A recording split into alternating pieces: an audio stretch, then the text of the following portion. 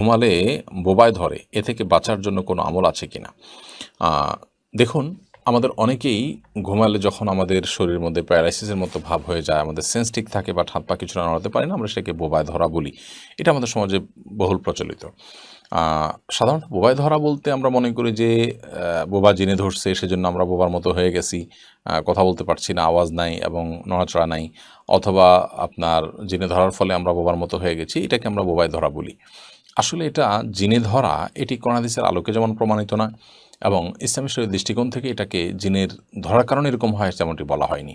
বরং এটার বৈজ্ঞানিক ব্যাখ্যা আছে, আমরা জানি যে এটাকে বলা হয় আপনার স্লিপ কি বলে এটাকে পক্ষাঘাতগ্রস্ত মানে ঘুমে স্লিপ প্যারালাইসিস বা আপনার ঘুমন্ত অবস্থায় পক্ষাঘাতগ্রস্ত হওয়া সাময়িক সময়ের জন্য, অল্প সময়ের জন্য, মুহূর্তের জন্য, এরকম হয়ে থাকে।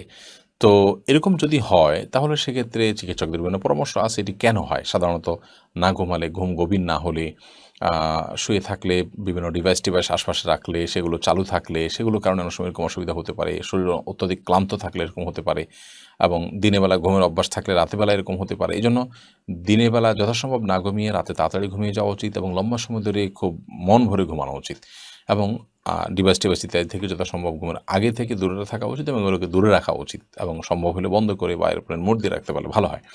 তো এগুলোর মাধ্যমে ইনশাআল্লাহ এখান থেকে রক্ষা পাওয়া যাবে। চিকিৎসকগণ এবং এ বিষয়ে বিশেষজ্ঞগণ নানা রকম পরামর্শ আমাদেরকে দিয়েছেন। বিধায় সেগুলো আমরা করব। এর বাইরে ওই মুহূর্তে আমি আল্লাহ তালা স্মরণ করে আল্লাহর কাছে পানা চাইতে পারি। এই পক্ষাঘাত, পক্ষাঘাতটা স্থায়ী হয়ে গেলে আমার জন্য সেটা কত বড় বিপদের কারণ হবে।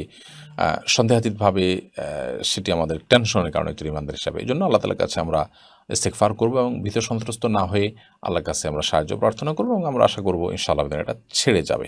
আতঙ্কিত হব না। তো এই বিষয়ে তারা পরামর্শ দিয়ে থাকেন। এর বাইরে ইমানদার হিসেবে যেটা বললাম যে ওই মুহূর্তে আপনি সেন্স আছে সেন্স কাজ করছে তো আল্লাহ তালার কাছে আপনি মনে মনে দোয়া করতে থাকেন। মুখে আওয়াজ করতে না পারলে কোনো অসুবিধা নেই এবং আহ, পক্ষাঘাতগ্রস্ত মানুষ প্যারালাইসিস হওয়া মানুষগুলো কত কষ্ট করে আমরা এই মুহূর্তের জন্য আমরা এতটা ভীত সন্ত্রস্ত হয়ে পড়ি তাহলে তাদের জন্য সেটি কষ্ট কত কষ্টের কারণ হয়? সেটি আমাদের বোঝা উচিত উপলব্ধি করা উচিত এবং আল্লাহ কাছে শকর দেওয়া করা উচিত। আল্লাহ আমাদের সুস্থ রেখেছেন ভালো রেখেছেন।